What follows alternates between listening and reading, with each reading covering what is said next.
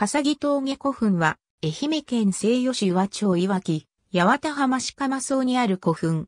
形状は前方公園墳。史跡指定はされていない。公園部墳町から上盆地を望む愛媛県南西部、上盆地を望む高知城に築造された四国地方で最西端の前方公園墳である。付近には八幡浜街道笠木峠古市が通る。1997から2004年に旧上町愛媛大学考古学研究室による発掘調査が実施されたほか、2008年までに史跡整備が実施されている。噴景は前方後円形で東西方向を噴球主軸とし、前方部を西方向に向ける。噴球は二段築成で、噴球長は45メートルを測る。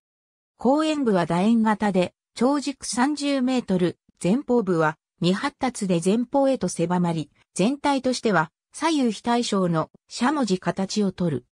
後円部上段及び前方部前面は吹き石で覆われるほか、紛糾裾部には部分的に石列が巡らされる。主体部の埋葬施設は縦穴式石室で東方向を遠いとし、長さ4.6メートル、幅0.5から0.6メートル、高さ0.7メートルを測る。石室内外からは、ハセ室高槻編及び鉄製品が出土している。築造時期は古墳時代前期前半の4世紀前半頃と推定される。西南四国では最古級の古墳として重要視される古墳になる。